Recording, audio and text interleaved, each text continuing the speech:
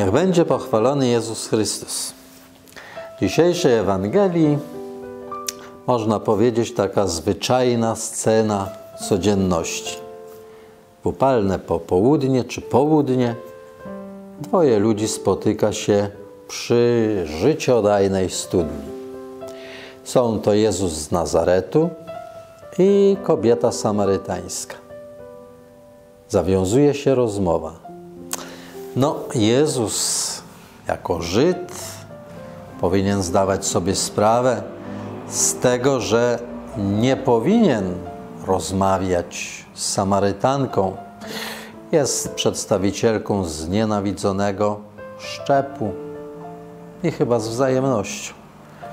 Dlatego Samarytanka dziwi się, że Jezus jako Żyd nawiązuje z nią rozmowę, że prosi ją o wodę, ale jeszcze bardziej staje się, jest zdziwiona wtedy, gdy słyszy prawdę o sobie od nieznajomego.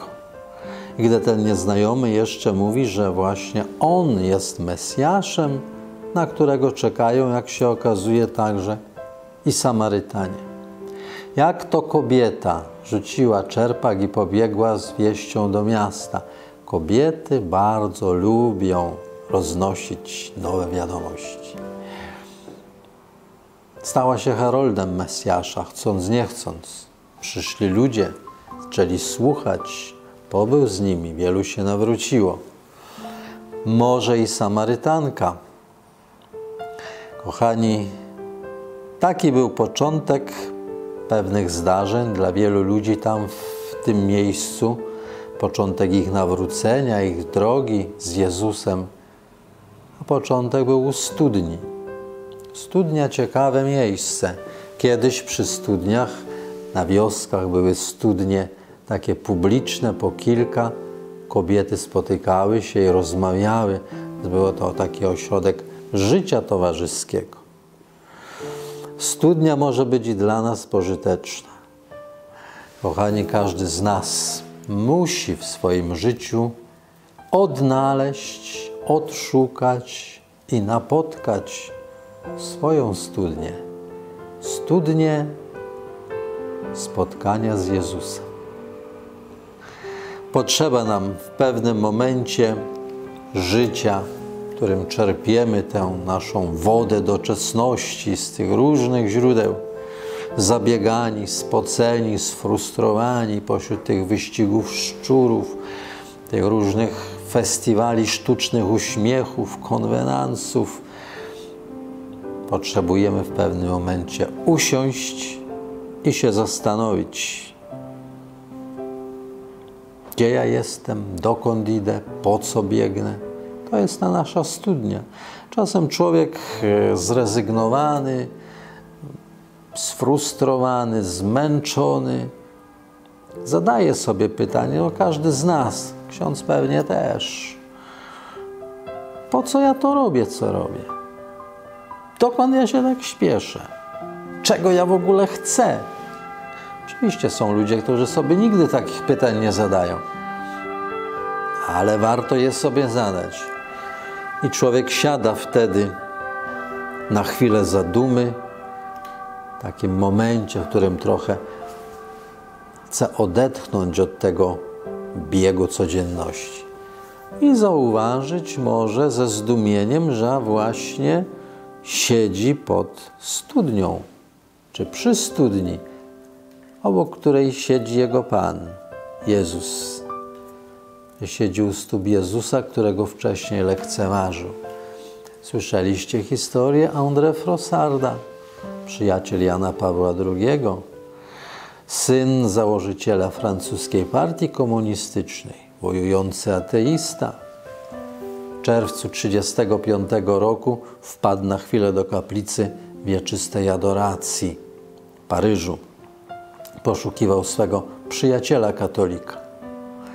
Wszedł do kaplicy, rzucił okiem na wystawiony Najświętszy Sakrament, na monstrancję i ukląkł.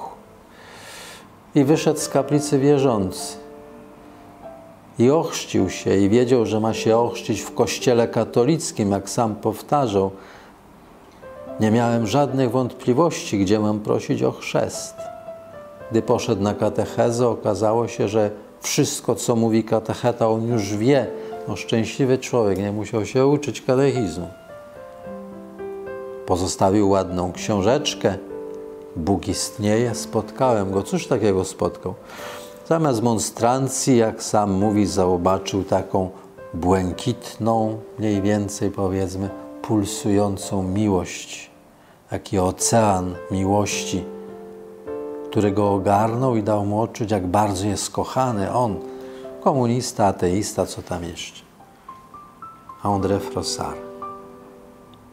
Czytałem niedawno, wspominałem w poprzednim tygodniu o pewnym rockmenie, już takim, który wszystkiego w życiu spróbował i już wszystkiego miał powyżej uszu, a ciągle był głodny czegoś.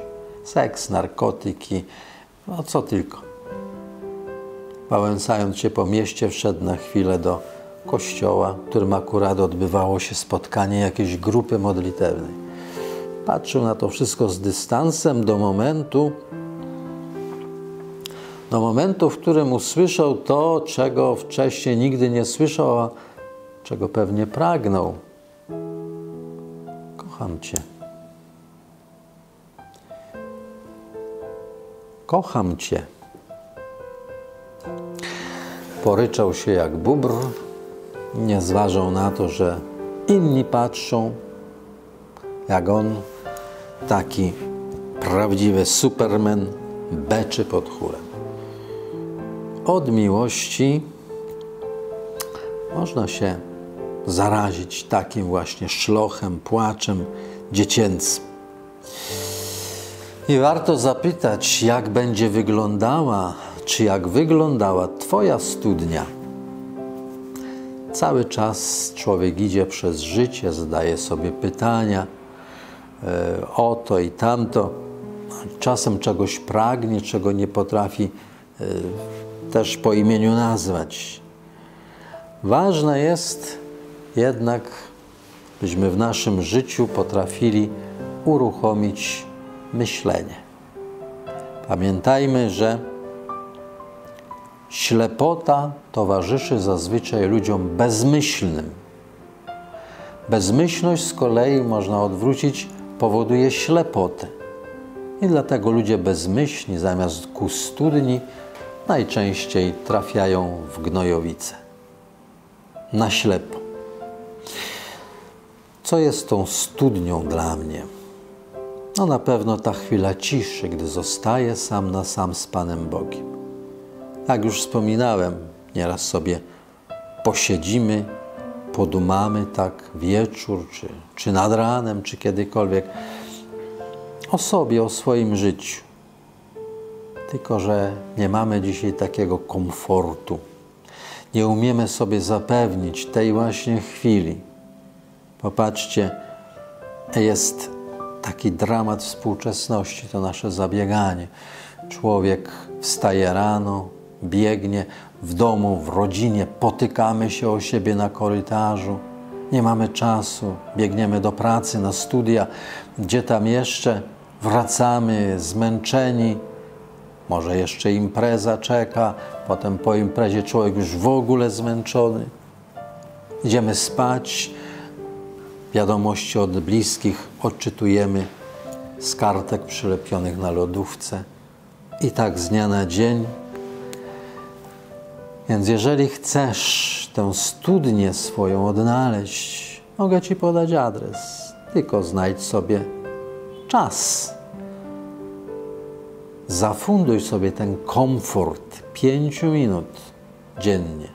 Potem zobaczysz, że ci dziesięć nie starczy. Potem będziesz chciał więcej, ale zacznij. Adresy są proste. Pierwszym z nich jest tabernakulum w Twoim najbliższym kościele. Kiedy byłeś ostatni raz w Twoim najbliższym kościele? O dalszych już nie mówię. To jest pierwszy adres a drugim jest Księga Słowa Bożego. Może jest w domu, jest Ewangelia. Otwórz. A trzecim to ta Twoja izdebka, o której mówi Pan Jezus. To niekoniecznie, choć też może być Twój pokój. Ty jesteś już sam na sam po wszystkim i, i tylko ze sobą. Ale to może być również Twoja przestrzeń duchowa, Twoje serce, gdziekolwiek przystaniesz na chwilę, pomyślisz o tym, po co żyjesz. Jak posiedzisz tak sobie, choćby przed tabernakulum, choćby z Ewangelią na kolanach, po przeczytaniu jednego czy dwóch zdań, to nawet nie musisz nic mówić, niczego tłumaczyć. Jezus nie potrzebuje Twojej listy zapotrzebowań. On wie, co leży w Twoim sercu, wie, czego potrzebujesz, wie, czego chcesz.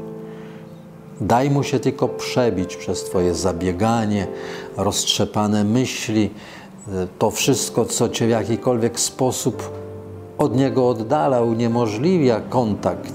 Wyjmij słuchawki z uszu. Przez hałas Bóg się do Ciebie nie dobije. Skup się na sobie. Daj sobie troszkę czasu. I tak, choćbyś na modlitwie takiej, czy na takim siedzeniu powtórzę, nie powiedział ani słowa, to na pewno wiele zrozumiesz, wiele do ciebie dotrze, bo on będzie mówił tym niesłyszalnym dla ucha głosem, który słyszy Twoje serce. A potem, a potem będziesz pragnął wracać do tej chwili. A potem będziesz chciał, żeby była troszkę dłuższa.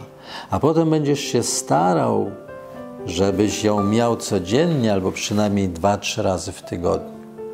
I tak po krok po kroku zobaczysz wreszcie siebie prawdziwego, takiego jakim jesteś.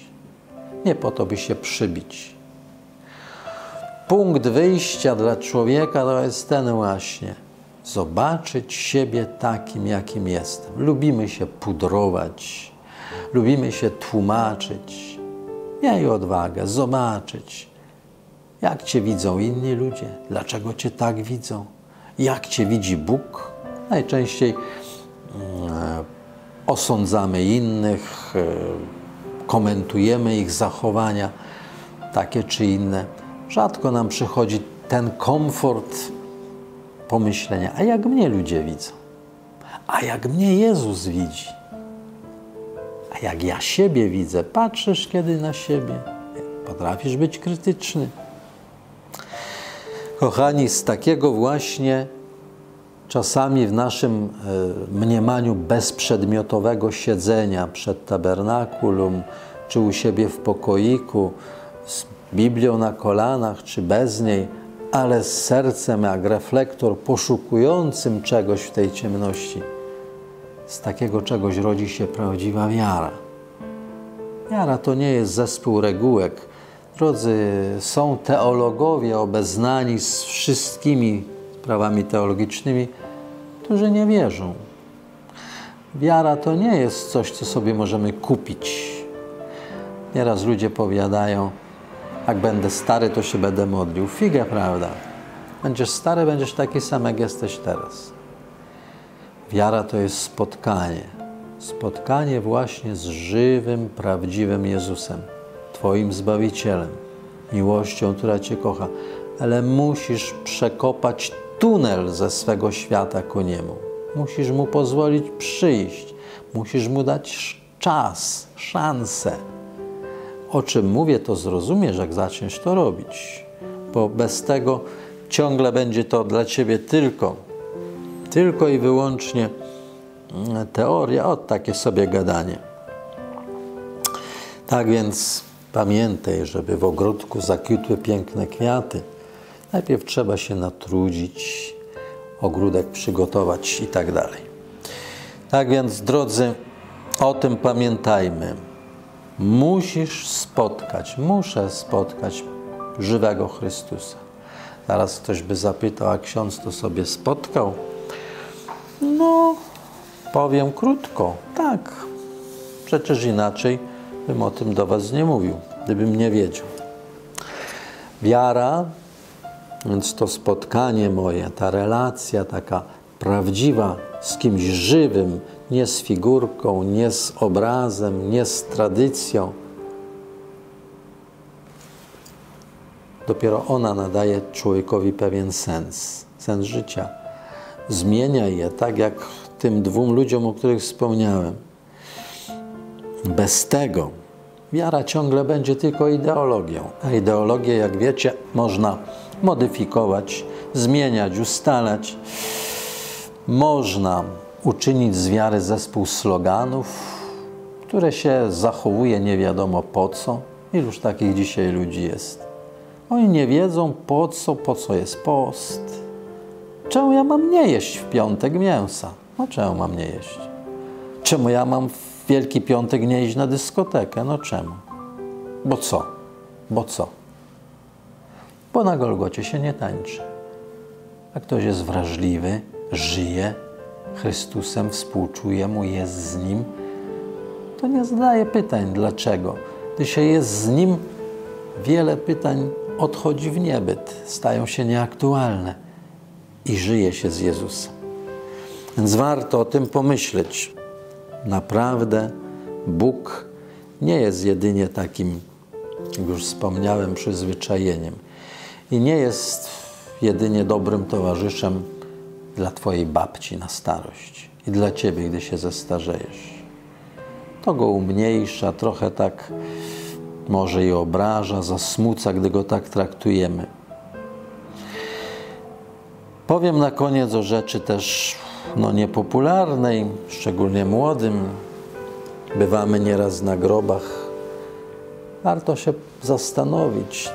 Teraz, gdy jestem na cmentarzu, tak patrzę na grób, ktoś tam żył 50 lat, ktoś 80, ktoś 30. Przecież to był normalny człowiek, taki jak każdy z nas. Miał wiele planów, nagle odszedł. Co by nam dzisiaj powiedział?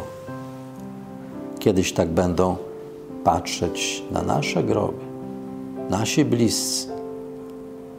I gdzie wtedy będziesz? Zastanawiasz się nad.